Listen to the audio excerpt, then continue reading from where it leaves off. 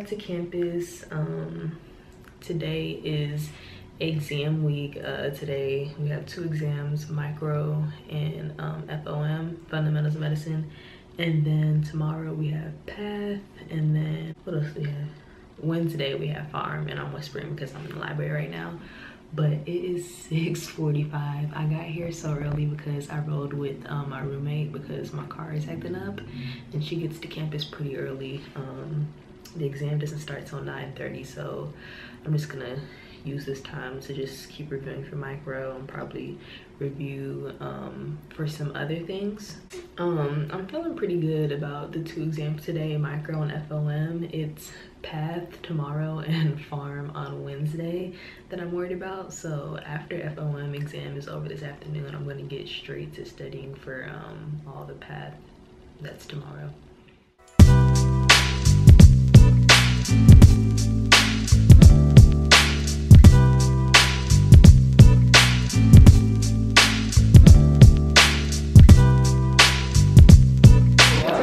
It's the camera from my vlog. She's famous. She's famous. I'm not. You don't want to be in it? Okay. It's time for the exam. See y'all after. So just got back to my apartment. The exams, hmm. They went all right. Um, micro was good. They posted the average right after. The class average was 88.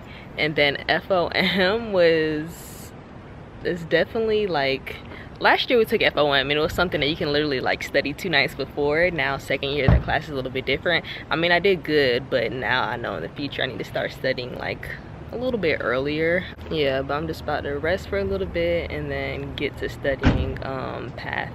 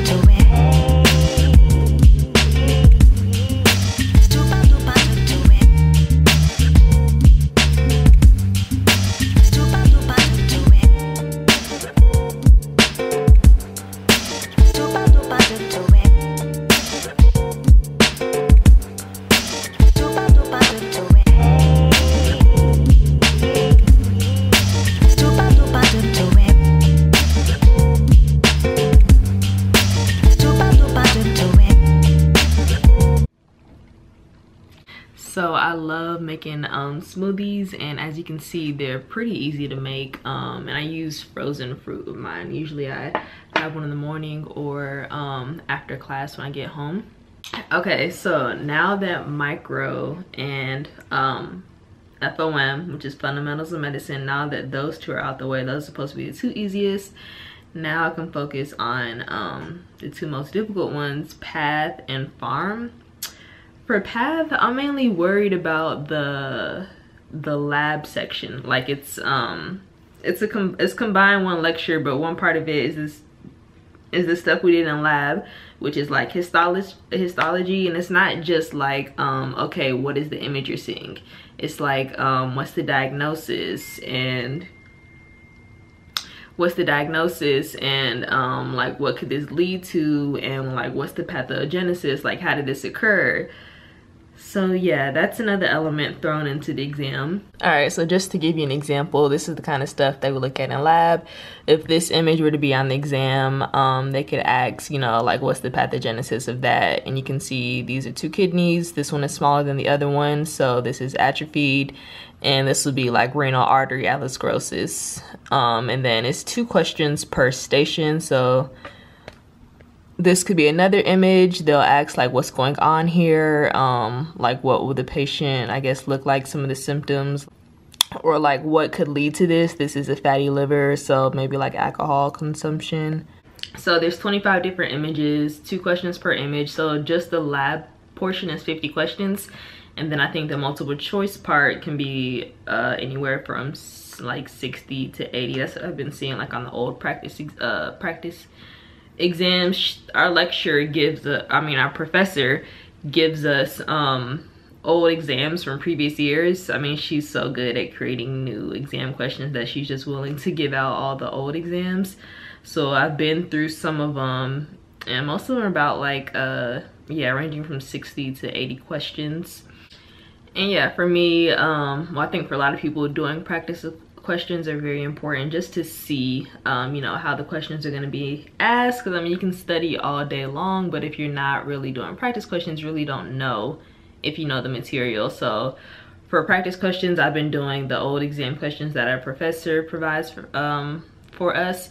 And i've also been using another resource called um, smash usmle it's um, a, like a test press prep company that gets you ready for um, step one and they have like really good um, practice questions. So like I've just been doing that throughout. So people have like different methods about like how they study for um, step when do they start studying should they take prep courses should they just do like independent studying. And um it's really just tailored like to your learning style. If you feel you need like a rigid structure um, maybe you should register for a prep course there's different courses out there like Kaplan, um, DIT, this one that I just mentioned, um, Smash USMLE. For me personally, I do like structure, but I don't like something that's so rigid to where it's like if you fall behind like maybe two, three, four days, then you're just completely messed up for, with the um, test prep program because that can easily happen in the midst of a busy semester. You just fall behind a few, uh, a few days and then it just kind of sets you off track. So what I look for in um, uh, I guess the course is like, do they provide good Q banks? And, um, you know, if they provide lectures, do they just simplify it very well? Like, do, do they, can they simplify difficult topics? So I've mainly been using this for um, the Q bank. And let me show you, one thing that's unique about them is that their, um, their video lectures is like on a whiteboard. And let me show you so you can just go to the top. It says um, step one videos. And then um, they break it down by either basic sciences or you can go to different organ systems. Um, just go to microbiology. And then this is just high yield micro. You can choose any topic um, that you want. So they have several lectures that's covering many topics. Um, let me see which one i'm to choose do this. And so yeah this is just a simple whiteboard lecture. They break it down real simple for you. It's not like powerpoint lectures black and white. It's pretty interactive um, which is good when you're studying long days and um, massive amount of information.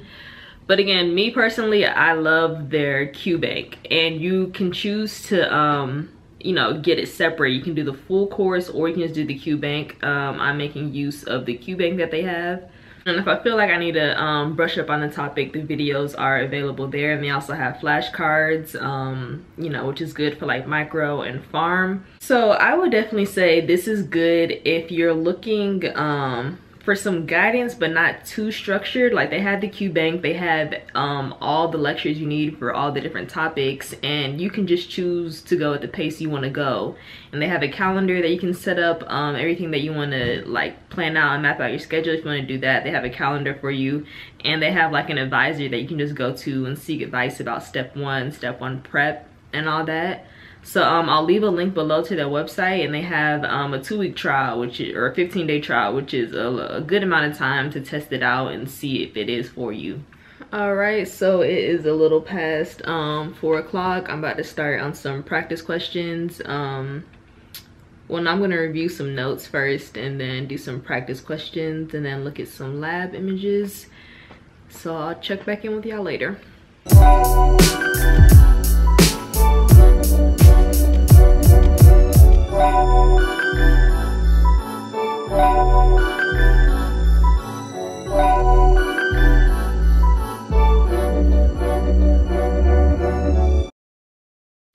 Guys, so um, it is now Tuesday night. I didn't vlog all day, but um, my path exam did go very well. We take the exam in two parts. So the lecture exam um, was very similar to one of the older exams that um, she gave us. The lab exam was a little more difficult. Um, some of the images we had seen before, but um, yeah overall path went well and then when I got home, I went to the mechanic. I had mentioned yesterday um, my car was having issues, so I just been riding with my roommate to um to class. Oh my gosh, car troubles are so frustrating. Um, hopefully I get it fixed soon because she leaves the house like at 6 a.m. to get to campus and it's not about that early morning life so yeah hopefully i can get that fixed soon but thankfully i do have a roommate that i can ride with um because if not i'd probably be taking uber every day which is way too expensive to be doing that.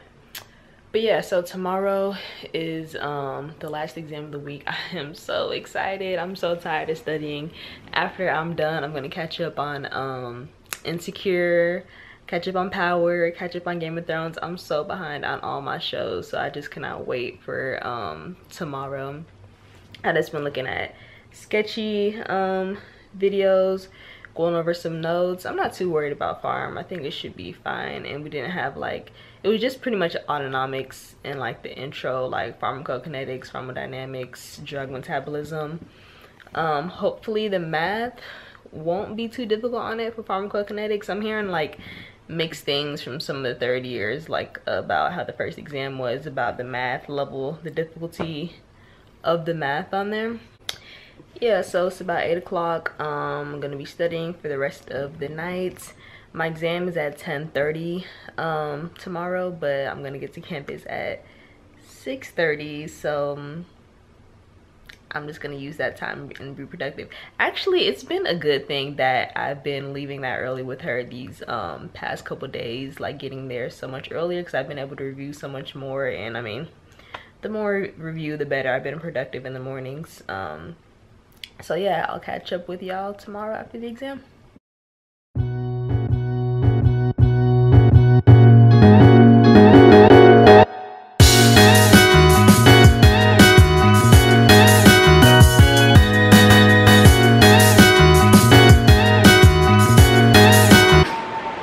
Wow, that pharm exam was so hard. The pharmacokinetics, all the math.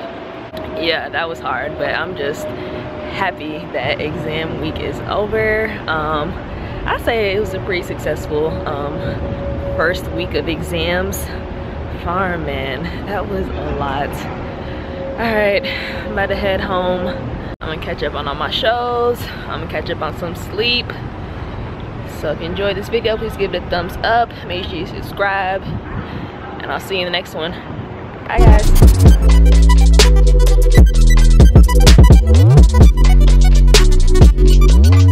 you.